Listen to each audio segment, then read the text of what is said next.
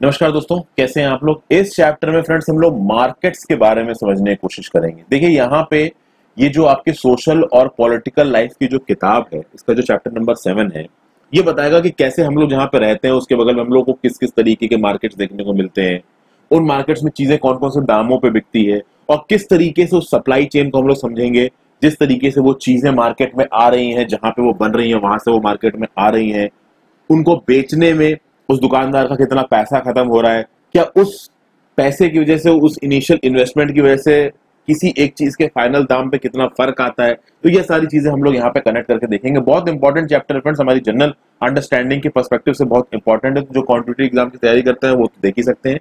और साथ साथ जो लोग कह सकते हैं कि क्लासरूम एजुकेशन के लिए पढ़ रहे हैं, वो भी इस चैप्टर को ठीक से देख सकते हैं। शुरू करने से पहले बता दूँ फ्रेंड्स कि आप वीडियो को लाइक कर दें और फिर फटाक से आगे बढ़ते हैं हम लोग। लाइक कर देंगे तो ये जो मेरा वीडियो है, इसको यूट्यूब अपने एल्गोरिदम्स में ज़्यादा प्रमोट करेगा और साथ साथ इन एनसीआरटी की किताबों को आप एनसीआरटी की साइट से डाउनलोड कर सकते हैं लिंक नीचे दिया हुआ है। डाउनलोड करके पढ़िए फ्रेंड्स बहुत ही अच्छी किताबें हैं। अब देखिए, सामने स्क्रीन में बहुत सारी चीज़ें दिखा रखी हैं अलग अलग जैसे कि एक टेस्टर है ये, ऐसे पेचकस भी ये यूज़ हो सकता है। फिर यहाँ पे आपको चप्पलें दिखनी है, घड़ा दिख रहा है। कुछ पहनने वाले जो हार गले में चीज़ें होती हैं सीडी शार्पनर ठीक है, फिर यहाँ पे कुर्सी है, ये पंच करने वाला है, ये माउस है, ये केले हैं, ये कुछ पैकेट है, आटा या चावल का। तो इस तरीके की चीज़ें हम लोग नॉर्मली खरीदते हैं। तो भाई हम लोग मार्केट जाते हैं मार्केट में सब्ज़ियाँ हो गया, साबुन टूथपेस्ट मसाला ब्रेड राइस दाल क्लॉथ नोटबुक बिस्कुट ये सब हमारे रोज़मर्रा की चीज़ें हैं। ठीक है?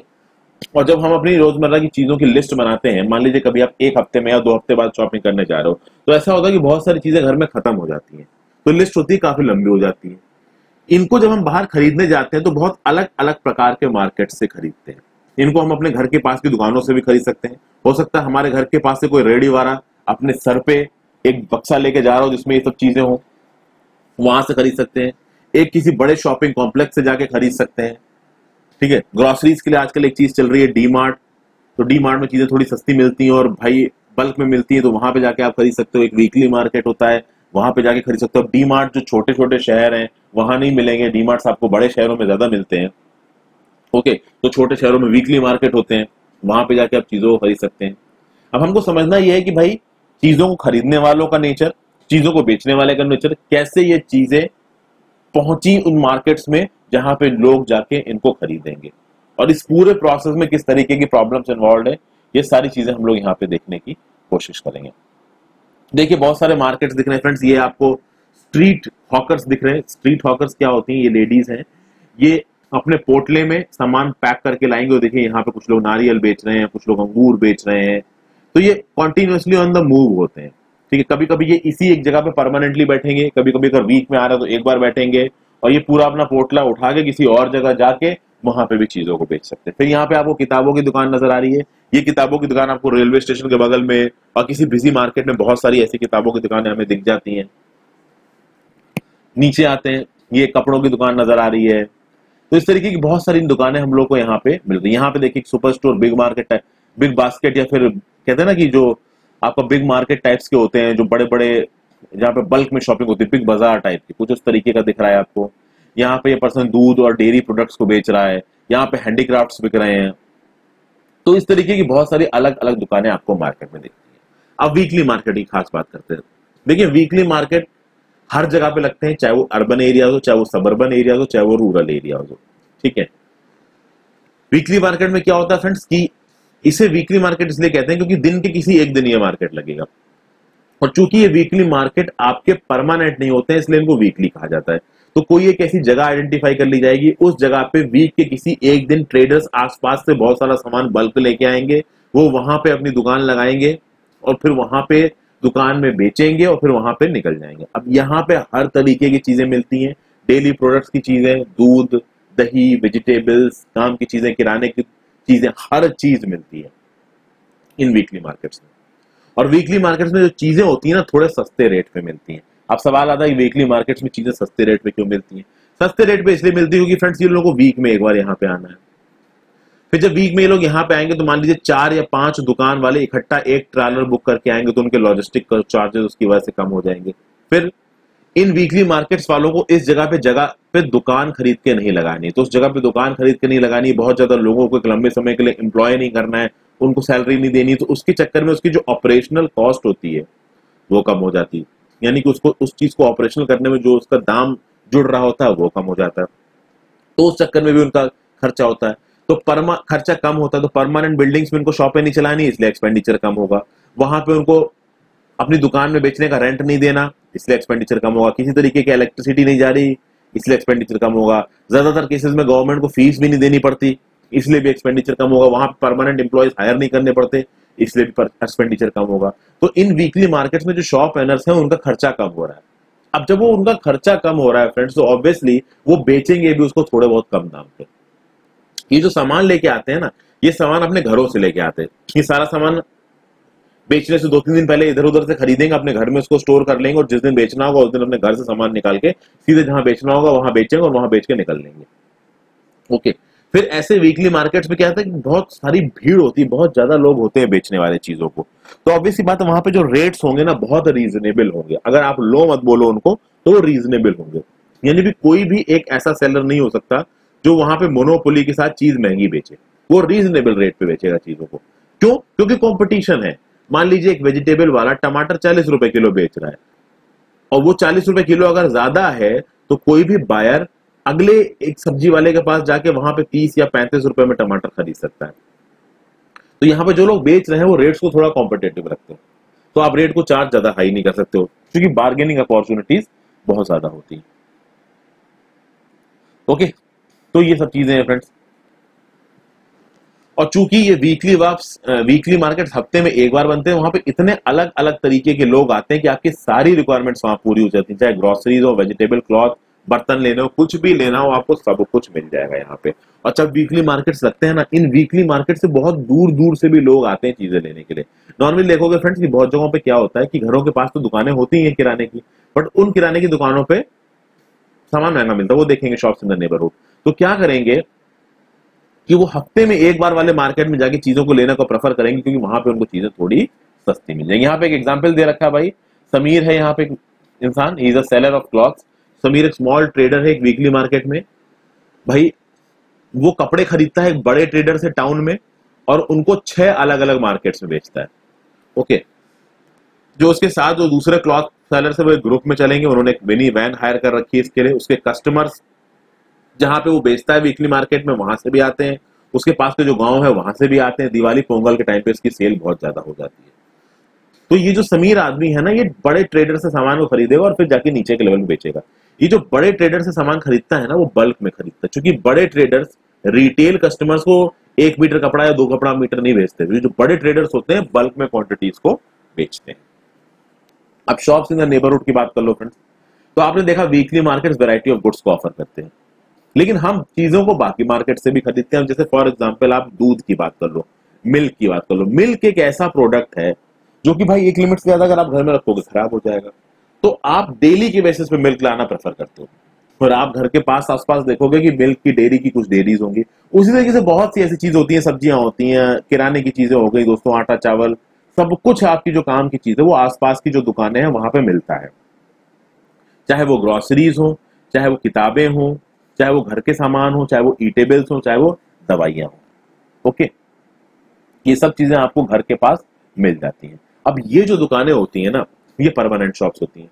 कुछ रोड स्टाइल स्टॉल्स हो सकते हैं, जैसे कि रेडी वाला होता है फ्रूट बेचने वाला होता है। आप देखते हो कि घर के अगल में एक थाली, एक यू नो ठेले पे वेजिटेबल लगा के ये वेजिटेबल्स हॉकर्स बेचने आते हैं। तो इस तरीके से आपको दुकानें मिलेगी। तो ये जो नेबरहुड में आपकी दुकानें होती है ना, यहाँ पे आपको सामान वीकली मार्केट जितना सस्ता नहीं मिलेगा, लेकिन ये बहुत कन्वीनियंट है। क्योंकि अगर कोई वीकली मार्केट आपके घर के पास नहीं है, और डेली के बेसिस पे मान लीजिए किसी सामान की एकदम ज़रूरत पड़ गई तो आप तुरंत निकल के इन दुकानों से जाके सामान ले सकते हो। तो घर के पास आती हैं और वीक के किसी भी दिन, किसी भी समय पे दिन में आप जाके सामान ले सकते हो। नॉर्मल केसेस में जो बायर है सेलर हो, वो एक दूसरे को जानते हैं तो उधार भी चलता है। ठीक है? अब यहाँ पे सुजाता के केस में इस उधार को समझने की कोशिश करते हैं। वैसे तो उधार को समझाने की ज़रूरत नहीं, सबको पता ही है। तो सुजाता कविता को उनके घर से भेजा गया ग्रोसरीज लाने के लिए पास की दुकान से। ये पास की दुकान उनके घर के पास है, जो दुकान की जो लेडी है, वो उनकी मम्मियों को जानती है। दुकान पे काफ़ी भीड़ है। जब वो वहाँ पर पहुँची तो दुकान वाली जो ओनर है, उसकी दो हेल्पर्स भी हैं। तो जब ये दोनों लड़कियाँ सुजाता और कविता दुकान पे पहुँची तो सुजाता को जो उसकी मम्मी ने लिस्ट दी थी सामान ले, सामान लेने के लिए, वो लिस्ट उसने दुकान के ओनर को दे दी। और दुकान के ओनर ने अपनी हेल्पर्स ने कहा कि, भैया, ये सामान बाँध दो। इतनी देर में कविता दूसरा सामान देखने लगी, अगर कुछ ज़रूरत हो। ओके।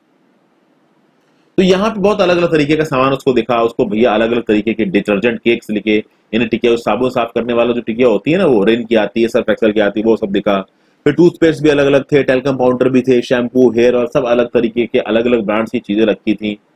देखने में काफ़ी अच्छी लगती है और मन भी खरीदता है खरीदने का जब छोटे हो तो खासकर खरीदना अच्छा लगता है, भले यूज़ ना हो तब तब भी खरीदना अच्छा लगता है। बीस मिनट लगभग लग गए ग्रोसरी सारी पैक हो गई।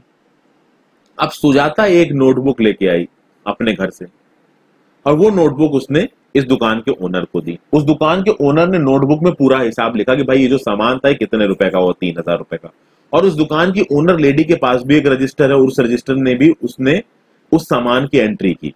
क्योंकि जब महीना खत्म होगा तो ये अपने रजिस्टर से चेक करेगी ये लेडी जो दुकान की ओनर है कि भाई इसने कितने रुपए का उधार दिया था। और जिन घरों ने सामान मंगाया था ना, वो अपनी नेटबुक से देखेंगे और जितना सामान का टोटल अमाउंट होगा, वो महीने को शुरुआत में दे दिया जाएगा। तो इस तरीके से चीज़ें चलती है नॉर्मल केसेस में।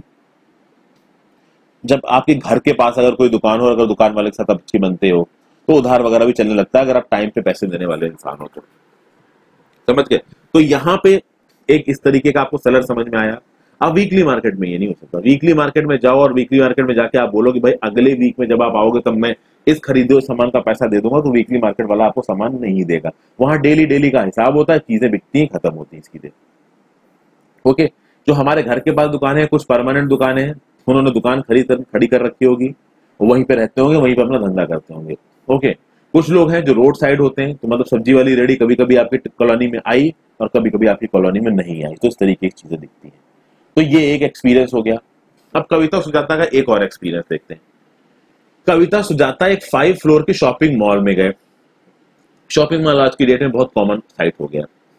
ठीक है, वहाँ पे जब अंदर घुसे तो उन्होंने देखा, भाई सब कुछ ग्लास का चमचमाता हुआ है, कितनी सफ़ाई है, कितनी अलग अलग तरीके की शॉप्स है ब्रांडेड शॉप्स है लिवाइस की शोरूम दिख रहे हैं आपको, ठीक है। शॉपर से स्टॉप नज़र आ रहा है आइसक्रीम बर्गर पिज्जा सब कुछ दिख रहा है। अलग अलग तरीके के फुटवेयर बुक शॉप सब दिख रहे हैं। जब वो वहाँ पे सामान को देख रहे हैं तो हर तरीके के जो सामान है वो ब्रांडेड लग रहा है। और जब वो सामान को देख रहे हैं तो उस सामान का जो दाम है ना, वो बहुत ज़्यादा है। कि मान लीजिए सुजाता ने कोई टी शर्ट देखी, और उस टी शर्ट पे जब उसने वहाँ पे दाम देखा तो तीन हज़ार रुपए था। तीन हज़ार से कम की तो उनको कोई चीज़ मिल ही नहीं रही। वही टी शर्ट सुजाता को उस वीकली मार्केट में पाँच सौ रुपए की मिल सकती है। वही या उसके जैसी। अब आप ये तो नहीं कह सकते कि भाई जो लिवाइस के कपड़े होते हैं, या रैंगलर के जो कपड़े होते हैं, ठीक है? इस तरीके के जो आपके ब्रांड्स होते हैं, इनके कपड़े वीकली मार्केट में बिकेंगे, ये तो नहीं बोला जाएगा, लेकिन फिर भी वीकली मार्केट में आपको रीजनेबल कपड़े रीजनेबल दामों में मिल जाते हैं। लेकिन ब्रांडेड मॉल्स में अगर आप इन ब्रांड्स को जाके खरीदोगे तो वो अक्सर कर बहुत महँगी मिलती है। आजकल तो ऑनलाइन शॉपिंग का जमाना है ऑनलाइन पे चीज़ें सस्ती मिलने लगी हैं बट मॉल में अक्सर कर चीज़ें बहुत ज़्यादा सस्ती नहीं मिलेंगी। तो ये भी एक तरीके का मार्केट और ये जो शॉपिंग कॉम्प्लेक्स शॉपिंग मॉल्स है, ये वीकली मार्केट से किस तरीके से अलग है? देखिए भाई, अब तक हमने वीकली मार्केट्स को देखा, जहाँ पे हफ़्ते में एक बार जाके चीज़ें सस्ते में लानी है। अपने घर के बगल में जो मार्केट है, दुकानें हैं रेडी वाले हैं छोटे छोटे फुटपाथ पे जो लोग बैठते हैं, इनको देखा। आजकल की डेट में जो शॉपिंग का ट्रेंड आ गया, वो शॉपिंग कॉम्प्लेक्सेस में आ गया। अर्बन एरियाज़ में भाई बड़े बड़े मॉल खुल गए हैं। अगर आप कभी नोएडा साइड गए हो, दिल्ली साइड पे गए तो वहाँ पे देखोगे सेंटर स्टेज मॉल उसके जस्ट सामने ग्रेट इंडिया पैलेस भैया बड़े बड़े मॉल हैं ये। तो यहाँ पे बड़ी बड़ी एयर कंडीशन बिल्डिंग है बड़े बड़े फ्लोर्स हैं, इनके अंदर दुकानें लोगों ने किराए पर रखी हैं और उस किराए में अपना धंधा चला रहे हैं। अभी जो मॉल ओनर्स हैं, ये क्या करते हैं? ये भाई अपनी जो दुकानें होते हैं, वो अलग अलग ब्रांड्स को उधार पे देते हैं। तो जैसे शॉपर स्टॉप ने पूरा का पूरा एक बहुत बड़ा सेक्शन ले रखा है किसी एक मॉल में। अब वो शॉपर स्टॉप वाला इस मॉल के ओनर को किराया देगा। फिर वहाँ पे यार देखिए, वो एक कॉमर्शियल बिल्डिंग है तो कॉमर्शियल बिल्डिंग में बिजली का बिल भी ज़्यादा आता है, किराया भी उसका ज़्यादा होता है। उसके जो खर्चे होते हैं, वो बहुत ज़्यादा होते हैं। तो जब शॉपर स्टॉप जैसे ब्रांड्स इतना खर्चा करके उस मॉल में एक दुकान लेंगे तो जब वो कपड़े बेचेंगे तो क्या कपड़े सस्ते होंगे? ऑब्वियसली बात वो सस्ते नहीं होंगे। क्योंकि उस पूरे गेटअप को बनाने में सॉरी उस पूरे सेटअप को बनाने में उनका अच्छा खासा पैसा खत्म हो रहा है। तो जब उस अच्छे खासे पैसे को वो खत्म हो रहे हैं तो ऑब्वियसली बात है जो वो चीज़ें बेचेंगे, वो भी ऑब्वियसली बात है महँगी होंगी। और मॉल्स में देखोगे तो चाहे वो ब्रांडेड चीज़ हो, चाहे वो नॉन ब्रांडेड चीज़ हो, दोनों तरीके की चीज़ें मॉल्स में आपको रेगुलर वीकली मार्केट से महँगी ही मिलेंगी। प्लस ये जो मार्केट्स होते हैं अपना, ये अपना खूब सारा एडवर्टाइजमेंट भी करते हैं। तो एडवर्टाइजमेंट के चलते भी इनके जो कपड़े होते हैं थोड़े महँगे हो जाते हैं। ठीक है? फिर the companies producing these products sell them through shops in large urban markets and at times through special showrooms as compare to non branded goods fewer people can afford to buy these branded खासकर जो branded कपड़े होते हैं, वो branded कपड़े खरीदने बहुत मुश्किल हो जाते हैं नॉर्मल लोगों के लिए। नॉर्मल लोगों का क्या है कि वीकली मार्केट में गए, दो सौ रुपए, तीन सौ रुपए की अच्छी टी शर्ट खरीद ली, ठीक है। ब्रांडेड में लोग क्या करते थे कि पहले रैंगलर की भाई तीन टी शर्टें आती थी, छह सौ रुपए में मैं तो बहुत खरीदता था इनको, इस तरीके की चीज़ें खरीद ली क्योंकि सस्ती पड़ी। लेकिन अगर एक टी शर्ट अगर हज़ार रुपए की होगी तो एक आदमी सोचेगा, अगर वो पैसे एक लिमिट में कमा रहा है तो। ठीक है? तो शॉपिंग कॉम्प्लेक्सेस आपकी बाकी मार्केट से कैसे हुए, ये हमने देखा। अब हम मार्केट्स की चेन को समझते हैं। और चेन को हम समझते क्या समझेंगे कि भैया सामान किस तरीके से उस फाइनल प्लेस ऑफ़ सेलिंग पे आ रहा है। ठीक है? तो अलग अलग तरीके के हमने मार्केट्स देख लिए, जहाँ से हम लोग सामान खरीदते हैं। आपका शॉपिंग कॉम्प्लेक्स देखा वीकली मार्केट देखा, और आपका नेबरहुड का मार्केट देखा। इसके जैसे कुछ और छोटे मोटे बड़े मार्केट्स होते हैं फ्रेंड जैसे विशाल मेगामार्ट हो गया, बिग बाज़ार हो गया, डीमार्ट हो गया अलग अलग चीज़ें हैं, वो आप समझ ही सकते हैं आपके। कह सकते हैं कि विसिनिटी में या नेबरहुड में आपने देखी होगी। अब देखिए, आपको क्या लगता है कि ये जो शॉप ओनर्स इन दुकानों में अपना सामान बेच रहे हैं, कहाँ से बेच रहे हैं? अब सामान है किराने का, ये कहाँ बनता है? ऑब्वियसली बात है फैक्ट्रीज में बनता है फ्रेंड्स अगर खाने पीने की चीज़ हो तो फॉर्म्स वेजिटेबल्स फॉर्म्स में ग्रो होंगे। ठीक है, अब जब कोई चीज़ फैक्ट्री में बनी या फार्म में ग्रो हुई तो क्या आप फैक्ट्री और फार्म में खरीदोगे? मान लीजिए आप किसी फैक्ट्री ओनर के पास जाते हो, और मान लीजिए ये जो फैक्ट्री वाला है, वो बैग बनाता है। लेदर बैग्स बनाता है। अब अगर कोई एक इंडिविजुअल लेडी जाके इस फैक्ट्री ओनर से कहेगी भाई मुझे एक बैग लेना तो फैक्ट्री ओनर उसको एंटरटेन नहीं करेगा, क्योंकि वो बल्क में डीलिंग कर रहा है। फैक्ट्री ओनर एक ट्रेडर से डील करेगा। वो ट्रेडर भैया लॉट में बैग को खरीदेगा 500 बैग 1500 बैग इकट्ठे खरीदेगा। वो ट्रेडर एक छोटे ट्रेडर को देगा, उन बैग्स को और वो छोटे ट्रेडर जाके अलग अलग मार्केट्स में उन बैग को डायरेक्टली बेचेंगे। तो इस तरीके से एक चेन बनती है। हम जो रिटेल कस्टमर्स है, जो एंड में सामान को खरीदते हैं, यानी एक किलो प्याज खरीद लिया, दो किलो चीनी खरीद ली, एक लेदर बैग खरीद लिया, ठीक है? अब हम जैसे लोग जाके दस लेदर बैग थे ना खरीदेंगे, एक बैग खरीदेंगे। तो उस एक बैग को खरीदने के लिए हम छोटे से मार्केट में जाते हैं तो हम बन जाते हैं क्या? हम बन जाते हैं रिटेलर उसी तरीके से जो बड़ी फैक्ट्रीज होती है, बड़े फार्म्स होते हैं, ये फार्म्स भाई ये नहीं चाहते हैं कि कोई एक रिटेलर आके उनसे खरीदे, या कोई स्मॉल क्वांटिटीज में खरीदने वाला आदमी उनसे आके खरीदे, यानी एक किलो वेजिटेबल कोई फार्म ओनर आपको नहीं बेचेगा। एक प्लास्टिक मग कोई मग की फैक्ट्री बनाने वाला ओनर आपको नहीं भेजेगा वो बल्क में उन चीज़ों को भेजेगा इसीलिए जो लोग बना रहे हैं, जिनको आप प्रोड्यूसर्स बोलते हो, और जो लोग फाइनली कंज्यूम कर रहे हैं, जिसको आप रिटेलर्स बोलोगे, उनके बीच में कुछ मिडिल मैन होते हैं, कुछ दलाल होते हैं, जिनको बोला जाता है ट्रेडर्स और ये ट्रेडर्स चीज़ें सस्ती खरीदते हैं, महँगी बेचते हैं और उसमें अपना प्रॉफिट कमाते हैं। ठीक है? बिजनेसमैन कह सकते हो आप इनको छोटे लेवल का। तो देखिए the wholesale vegetable wholesale trader will not buy a few kilo vegetable obviously बात है वो कुछ किलो वेजिटेबल नहीं खरीदेगा, वो 25 से 100 किलो वेजिटेबल खरीदेगा और जाके फिर मार्केट में बेचेगा। कोई बहुत बड़ा ट्रेडर है तो वो कहो हज़ार किलो वेजिटेबल्स खरीदे, हज़ार किलो आलू खरीद ले, हज़ार किलो आलू को फिर वो पचास पचास किलो करके छोटे ट्रेडर्स को बेचे और फिर इन दो वो छोटे ट्रेडर जाके मार्केट में चीज़ों को बेचेंगे। तो एक लंबी चेन बन जाती है मार्केट में। और इस चेन के थ्रू एक सामान जहाँ से प्रोड्यूस हो रहा है और वही सामान जहाँ बिकेगा, इस चेन के थ्रू वो पहुँचता है। The trader who finally sells this to the consumer is retailer okay अच्छा एक चीज़ और फ्रेंड्स रिटेलर हो सकता है बीच में थोड़ा बोलने में गलती कर दी हो. जो लास्ट ट्रेडर इस चीज़ को बेचेगा, उसको बोलेगा. The trader who finally sells this to consumer हम जब चीज़ खरीद रहे हैं तो हम कंज्यूमर हुए और हम जिससे खरीद रहे हैं, वो रिटेलर हुआ. मतलब इस चेन में जो आखिरी बेचने वाला है, वो रिटेलर हुआ. जैसे कि फॉर एग्ज़ाम्पल आप एक एग्रीकल्चर प्रोडक्ट मार्केटिंग एपीएमसी की जो मंडियाँ होती हैं, उस मंडी में गए. ठीक है तो मान लीजिए कि नवी मुंबई की वाशी की मंडी है, उस वाशी की मंडी में आप अब उस वाशी की मंडी में भी पाँच अलग अलग मार्केट्स होंगे।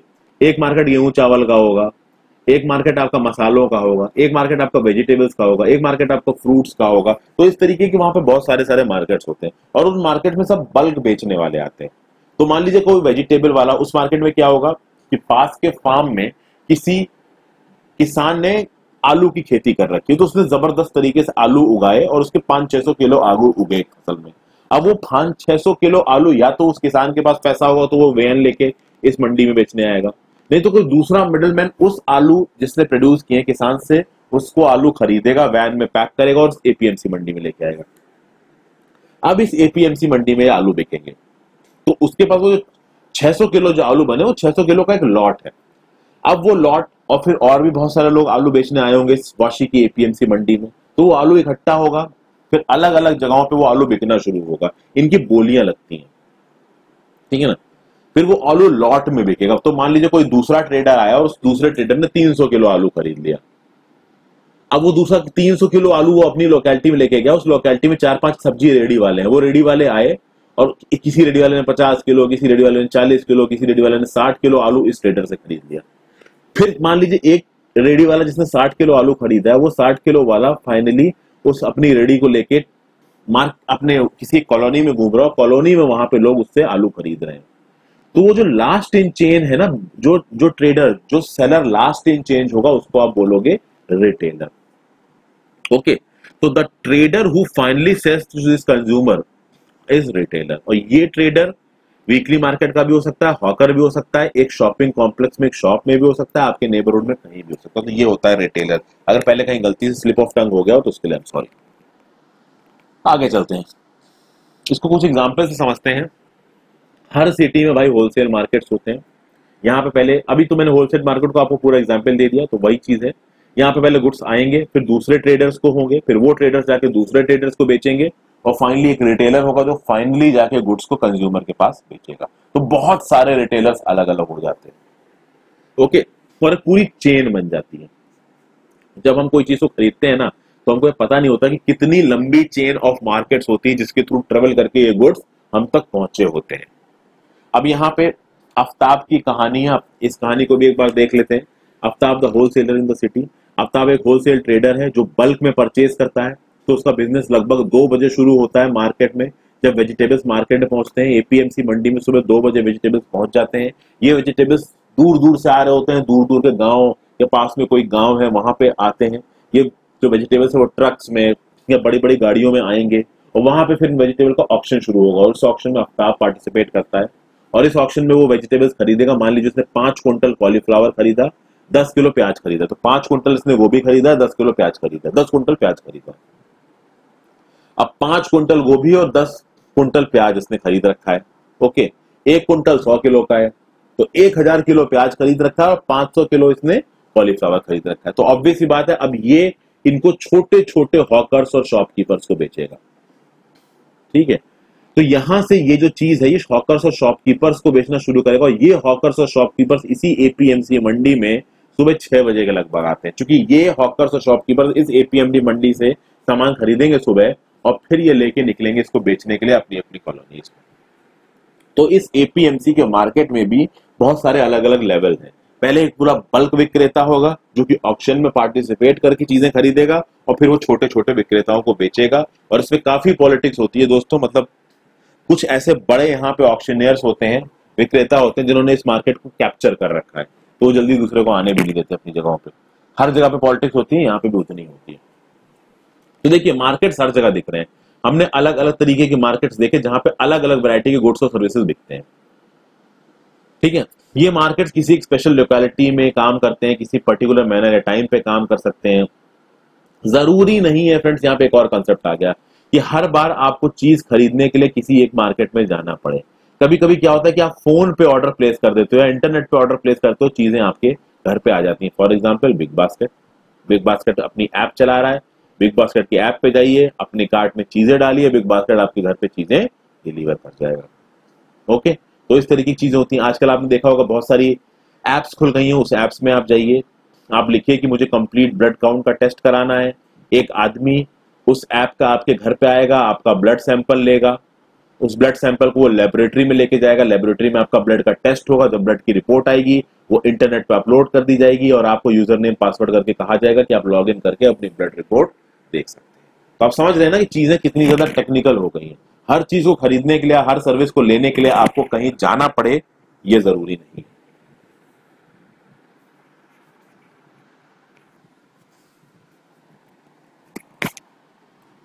आगे बढ़ते हैं।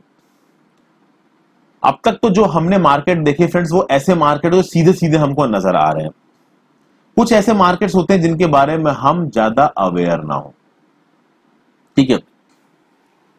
जैसे कि a large number of goods are bought sold that we don't use directly for example a farmer use fertilisers to grow crop purchase from special shop in the city in turn get them from factories car factory engine gears क्या बोल रहा है, बताइए? देखिए, आप market से सब्ज़ियाँ खरीद रहे हो जाके। आलू, टमाटर, प्याज, ये सब चीज़ें खरीद रहे हो उस सब्जियों को उगाया किसने? किसान ने उगाया।